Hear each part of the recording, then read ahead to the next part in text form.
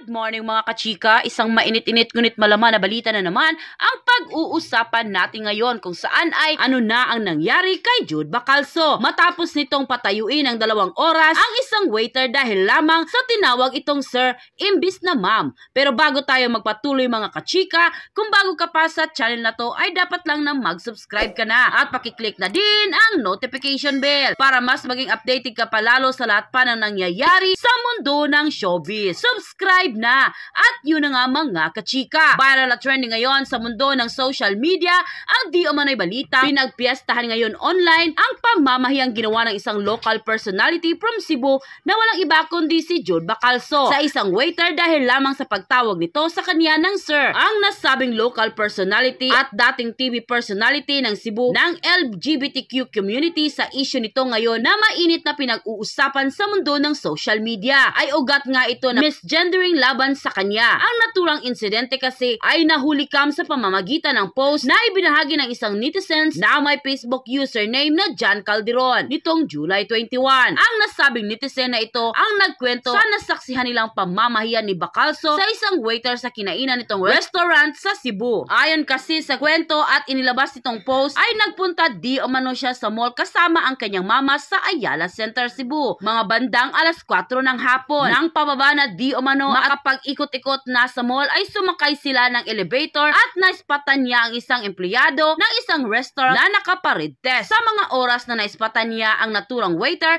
ay nasa 6pm na ito at sumatotal ay nasa dalawang oras na di umano nakatayo ang naturang waiter. Hindi di umano sila mapakalis ng kanyang ina matapos makita ang isang waiter na nakatayo na nang matagal at tila walang emosyon. Sa Facebook post nito ay makikita nga na nakaparade test ang posisyon ng waiter at nakaharap ito sa kinikilalang local personality na si Jude Bacalso. Sa dagdag pa na pagkakwento na nasabing netizen na hindi di umano sila mapakali at diretsahang tinanong na di umano niya ang naturang personalidad na si Bacalso kung saan ay sarcastic di umano ang tono nito sa kanya nang itanong ko sa kanya kung saan ay tinuturo nga nito naturang waiter na nakatayo na ng dalawang oras mahigit. Agad namang ibinaling nila ang pagtatanong sa naturang waiter kung saan ay dito na isinuwalat ng waiter na natawag di umano niya ito ng sir dahilan kung bakit ito nakatayo ng dalawang oras. Inalmahan nga ito ni Calderon ang netizen na nagbahagi ng insidente dahil di umano katanggap-tanggap ang ginawa nito sa naturang waiter. Dahil lamang sa pagkakamali nito sa pagtawag sa kanya, dagdag pa niya ay humingi naman daw ng tawad ang waiter ngunit tila hindi naman daw di umano yon sapat para kay Bacalso. Umani nga na naturang post si Calderon ng libo-libong reaksyon kung saan ay inalmahan at pinuna nila ang ginawa ni Bacalso sa naturang waiter at inilarawan ang power tripping talaga ang ginawang pangaral nito. Dahil nga nagtrending ang naturang insidente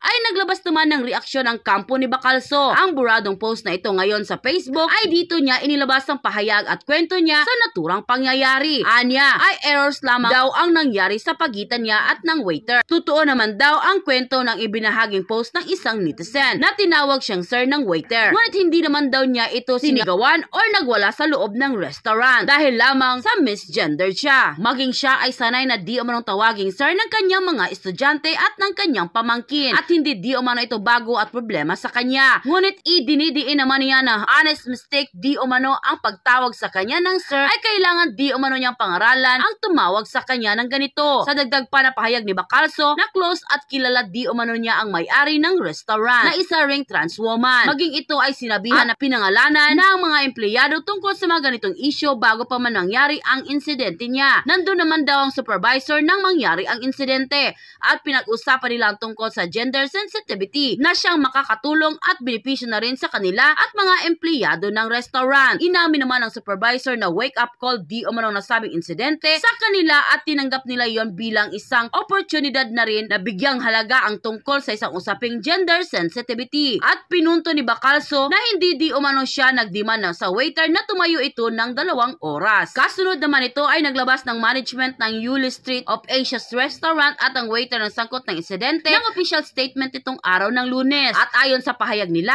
ay binibigyang importansya nila ang pangaralan ng mga empleyado nila maging ang welfare ng mga ito ay isa sa mga prioridad nila. Pinag-usapan naman nila na mansinsina ng naturang server tungkol nga sa nangyaring insidente. Humingi din ng paumanhin ng restaurant sa mga customers nila ng araw na iyon at nilinaw na walang lugar sa kanila ang diskriminasyon. Sa follow-up na post ng management na nakasuporta pa rin sila sa kanilang empleyado sa kabila pa man ng pagkakamali nito. Bukod sa mga netizen na pinuna ang binatikos ang ginawang pamamahiya ni Bacalso sa nasabing waiter, ay dismayado din si OG Diaz at naglabas ng kanyang reaksyon sa nasabing insidente. Sa kanyang komento, anya, pinatayo mo ng 2 hours. Yung waiter kasi na insulto ka dahil tinawag kang sir. Yan ang lumalabas sa mga post. Na insulto ka kasi nakaayos babae ka pero hindi mo ma-achieve at tawagin kang ma'am. Ganun naman pala na babae ang tingin mo sa sarili mo. E di sana pinakitaan mo ng prueba na magpapatunay na babae ka talaga. Bukod sa pagpapakita mo ng kip. Pinunto nga ni Diaz na halimbawa ng pagpapakita ng birth certificate na may nakalagay talaga na female sa gender nito. Para naman daw maintindihan ng waiter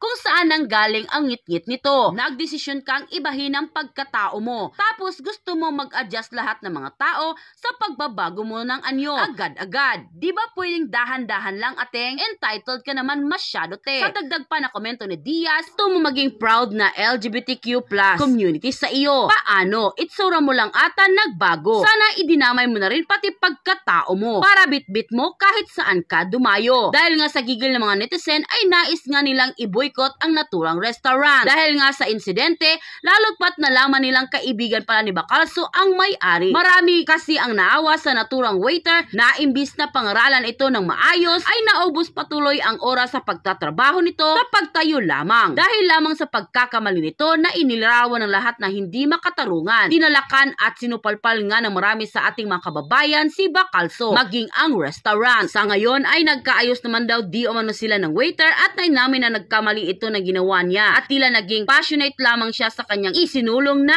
advokasya. Kaya ganun na lamang ang kanyang gigil sa insidente at sana ay nagpakatao pa rin siya sa pagpunas sa kamalian ng iba laban sa kanya. Humingi na rin ng sorry ang restaurant kung saan ay napag-usapan na din nila ang isulong pa ang naayon sa magandang advokasya tungkol nga sa ganitong mga issue. Alam naman niya na sobrang mali ang kanyang ginawa. Ngunit hindi di umano niya maisip ng mga oras na nangyari ang insidente na ipinaunawa ng mabuti sa waiter ang tungkol sa ganitong mga bagay. Nagpakumbaba nga ito at tinanggap ang puna komento at batikos ng mga tao laban sa kanya. Naintindihan naman daw niya ang saloobin ng iba at ganoon na lamang ang komento nila sa naturang insidente. Wala naman siyang nais na hiling ngayon na sana ay tigilan na ng iba ang pamumuna at pang-iinsulto sa kanyang personal na buhay ngayon. Sa kabila pa man, bukas sa publiko ang tungkol sa kanyang issue. Ngayon ay tanggap di umano niya ang pagtuwid ng iba sa kanyang kamalian. At yun na nga mga kachika, kung nagustuhan mo ang hot topic natin for today's video,